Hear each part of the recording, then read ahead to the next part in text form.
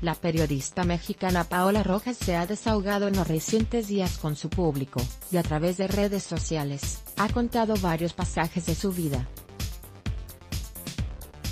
En el programa Netas Divinas cuenta del pegue que traía con los hombres, en su pasado. En el programa de televisión Netas Divinas contó un momento chusco por el que atravesó en uno de sus viajes a Portugal, cuando descubrió que unos hombres estaban hablando de ella. Un día, en el mismo autobús estaban tres muchachos, eran alemanes y empezaron a hablar en su idioma, y uno le decía a otro que estaba muy guapa, aunque uno lo contradecía, pero decía que sí le gustaba. O sea me escanearon, pero lo que no contaban es que yo hablo perfecto alemán, contó muy emocionada.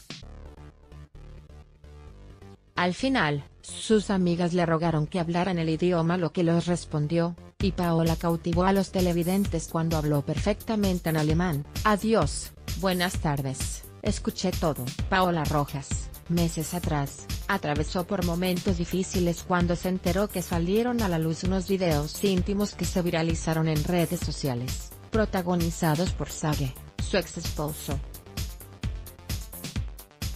Rojas recientemente dijo públicamente que estaba libre en el mercado, dando a entender que está soltera nuevamente. En esta nota,